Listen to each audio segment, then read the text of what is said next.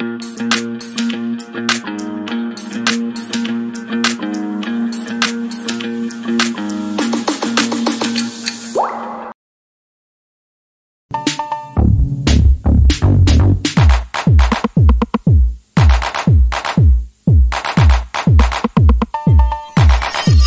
yes, subscribe to the Buzz in case you haven't and also tap on the bell for all the notifications. Now, the leadership of the National Unity Platform, that is NUP, has bitterly called upon President Museveni to take action on security officers torturing Ugandans, especially those who don't believe in his leadership.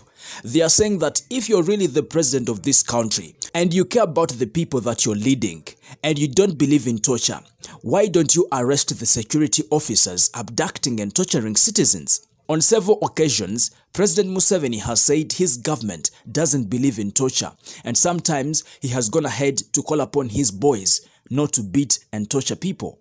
Don't beat people. Don't beat members of the public. Don't beat even criminals. You are not allowed to beat anybody. So the NUP leadership says that, uh, Mr. Man, please walk the talk. You can't keep saying words without action. Recently, Mr. Kakwenza was tortured, the novelist. He was tortured. Masereka from Kasese district was tortured. But you're still quiet as the president. And it's not that you haven't seen all these pictures. You must have seen their pictures on social media and on TVs. But you haven't ordered any arrest after seeing their pictures on social media and on TVs.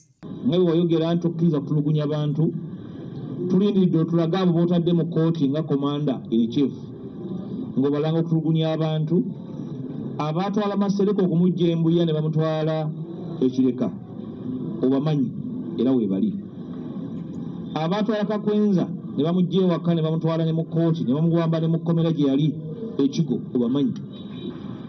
Lwaki tetulaba muntu yenna akangavulwa? Kubanga babata ng'alina ne poliisi bond. Ekikulaga nti abadde mu mikono gyabwe bweba toyagala tubyogereko bino nga twogerera amajeego obubi. Lwaki tobakomako? Kubanga amajeego nga bwogayita. So awo wali ensonga enkulu. Bwe toyagala twogere ku majeego gakomeko NUP local leaders have also joined the members of parliament in protesting against President Museveni's unlawful actions on the people of Uganda. Two days ago, members of parliament said they are not going to parliament for two weeks before these issues are worked upon. So NUP's local leaders have also joined the protest.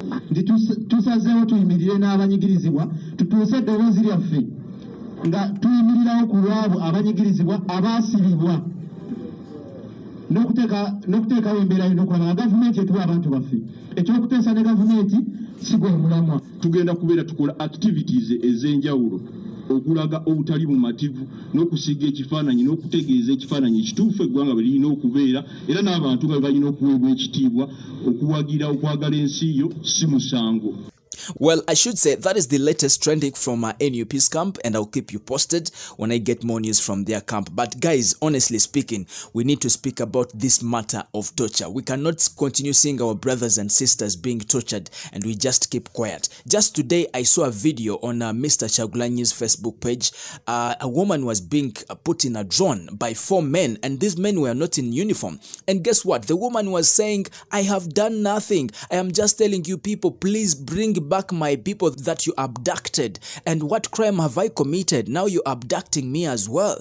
And you really wonder, what is the point of abducting people? So I think we need to really speak about these issues that are happening in the society. Otherwise, if we just keep quiet, then Uganda tomorrow is not going to be a safe country. Some of us who have platforms, please let's use them to speak against these issues that are happening in the country. Thank you so much for subscribing. In case you haven't, kindly tap on the subscribe word on your screen and also tap on the bell for all the notifications. Thank you.